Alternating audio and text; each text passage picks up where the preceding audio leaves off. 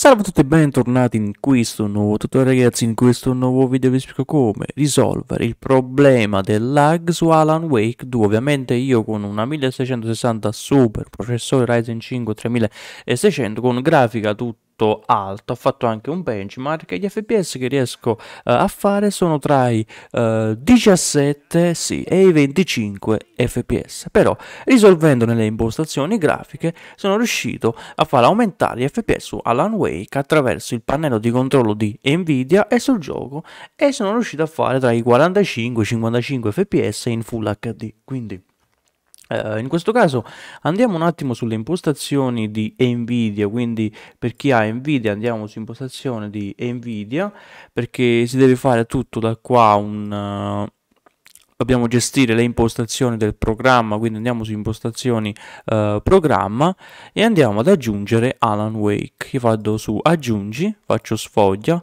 e vado a prendere il mio Alan Wake dove l'ho installato e vado a scegliere così l'applicazione Alan Wake e faccio apri ed eccolo qua. E da qui in poi possiamo fare moltissime modifiche. Quindi possiamo anche farci consigliare da nvidia quindi ridimensionamento immagine facciamo disattivato per esempio c'è aumenta nitidezza se tu metti attivato aumenterai la nitidezza sul gioco però lagherai di più. Quindi se facciamo che ne so attivato e abbassiamo la nitidezza verso i 25 facciamo ok. L'anti-alias correzione gamma mettiamo attivato. Questo qua mettiamo disattivato. Su quest'altra modalità controllo dell'applicazione. Anti-aliasing trasparenza mettiamo disattivato. Filtro anisotropico mettiamo controllo dall'applicazione. Per esempio dobbiamo andare noi sull'applicazione e impostare così uh, il settaggio grafico per Alan Wake. Io metterei direttamente disattivato filtro struttura qualità metto prestazioni. Fotogrammi fre frequenza fotogrammi massima mettiamo attivato fino a 1000 tanto non è che faremo 1000 fps però almeno un po' di fps in più ce li darà tipo che ne so 40 50 in più per quelli che hanno una buona scheda video. Per quelli invece che hanno una scheda video come la mia farò sicuramente 15 20 fps in più. Faccio ok ottimizzazione con i triad, mettiamo automatico, sincronizzazione verticale, verticale bloccherà gli fps, ti mettiamo disattivato, tecnologia monitor metto compatibilità G-Sync e velocità di aggiornamento la più elevata disponibile e facciamo applica. Questo era il settaggio per Nvidia. Ovviamente non posso fare quello per AMD perché io non ho una scheda video AMD, nel video il titolo era mm, messo su impostazioni Nvidia, quindi se avete bisogno ancora andiamo un attimo sul gioco e da lì in poi andremo a sistemare varie cose.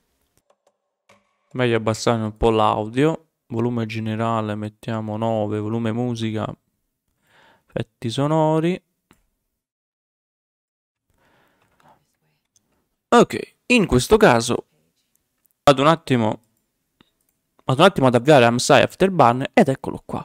Quindi in questo caso grazie alle impostazioni di Nvidia siamo riusciti a fare più o meno tra i 39, 38 fps, 40, 52 fps e adesso non ci resta che fare dei vari settaggi sul gioco. Quindi sulla risoluzione schermo io ho messo 1920x1080, risoluzione rendering io ho dovuto mettere 1280x720 qualità, questo qua, oppure possiamo anche mettere 1129x635 equilibrato.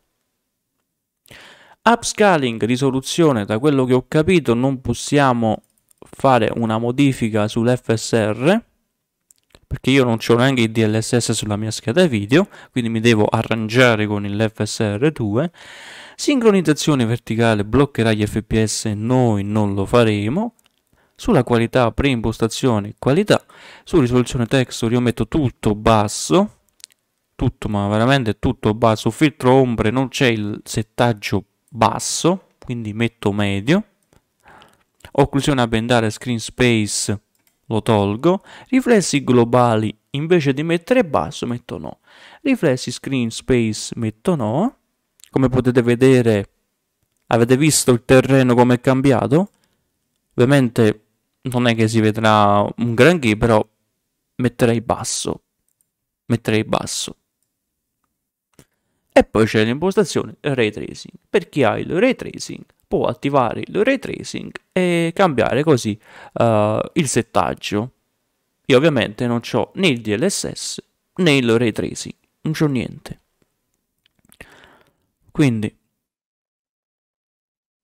torniamo indietro e vediamo quanti fps riusciamo a fare.